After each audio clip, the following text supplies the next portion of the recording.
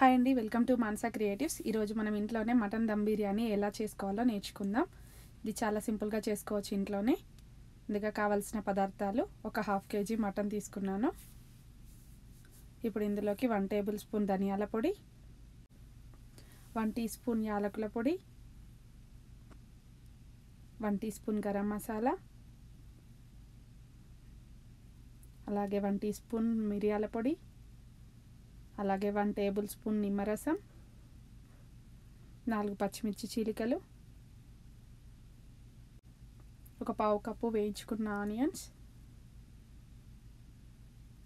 అలాగే ఒక పావు కప్పు పుదీనా వన్ టేబుల్ స్పూన్ కరివేపాకు అలాగే one tablespoon ginger garlic paste అలాగే పావు కప్పు కొత్తిమీర పావు కప్పు పెరుగు హాఫ్ టీ స్పూన్ పసుపు పావు కప్పు ఆయిల్ అలాగే రెండు టేబుల్ స్పూన్ల కారం వన్ టేబుల్ స్పూన్ సాల్ట్. వీటిని బాగా ముక్కకు పట్టేలాగా కలుపుకొని ఒక గంట సేపు మ్యారినేట్ చేసుకొని పక్కన ఉంచుకోవాలి.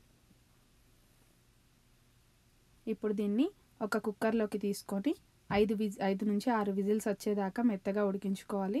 మటన్ లేతదైతే తొందరగా ఉడికిపోతుంది. కొంచెం ముదురుదైతే ఎక్కువ టైం తీసుకుంటుంది కాబట్టి ఐదు నుండి ఆరు విజిల్స్ అని చెప్పాను.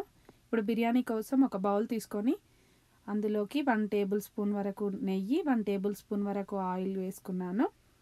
ఇప్పుడు ఇందులోకి బిర్యానీ దినుసులన్నీ వేసుకోవాలి.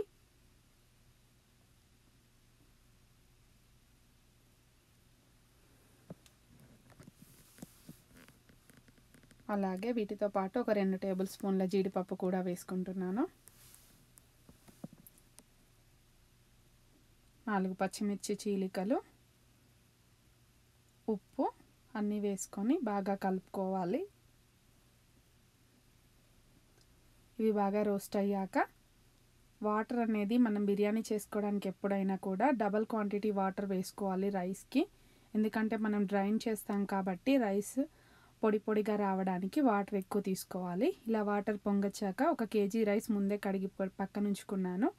ఆ కడిగి పెట్టుకున్న బాస్మతి రైస్ని ఇందులో కలుపుకోవాలి ఇప్పుడు. రైస్ సెవెంటీ పర్సెంట్ కుక్ అయ్యేదాకా కుక్ చేసుకోవాలి.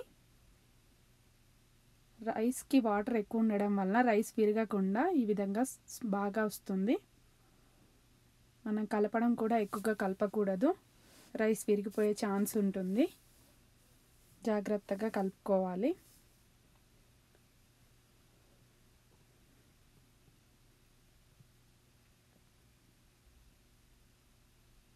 చూసారుగా ఇలా సెవెంటీ పర్సెంట్ కుక్ అయిన తర్వాత మనం వాటర్ నుంచి రైస్ని సపరేట్ చేసుకొని పక్కన ఉంచుకుందాం. ఈ విధంగా ఆయిల్ డీప్ ఫ్రై చేసే ఐటమ్స్ తీసే స్పూన్స్ ఉంటాయి కదా దాంతో అయితే ఈజీగా వచ్చేస్తుంది మనకు. వాటర్ బాగా డ్రైన్ అవుతుంది. ఇలాంటి స్పూన్స్ యూజ్ చేస్తే ఇప్పుడు దీన్ని బిర్యానీ బౌల్లోకి స్ప్రెడ్ చేసుకోవాలి. ఒక లేయర్ రైస్ వేసుకున్నాక దానిపైన మనం కుక్ చేసుకొని పెట్టుకున్న మటన్ని దీనిపైన ఒక లేయర్గా పరుచుకోవాలి.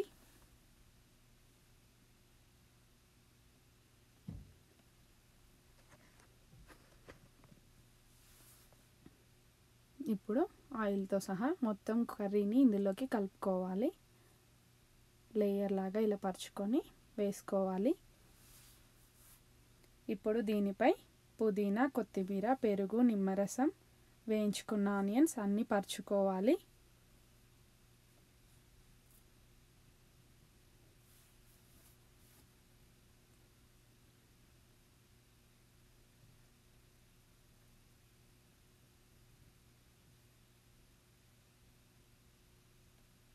సేమ్ ఇలా పరుచుకున్న తర్వాత సేమ్ ప్రాసెస్ మళ్ళీ రిపీట్ చేయాలి. మళ్ళీ ఒక లేయర్ రైస్ వేసుకొని అలాగే దీనిపైన పుదీనా కొత్తిమీర పెరుగు నిమ్మరసం అన్నీ యాడ్ చేసుకున్నాక బ్రౌన్ ఆనియన్స్ డీప్ ఫ్రై చేసుకుంటే ఇలా వస్తాయండి ఆనియన్స్. ఇవి బిర్యానీలోకి చాలా టేస్టీగా ఉంటాయి క్రిస్పీగా.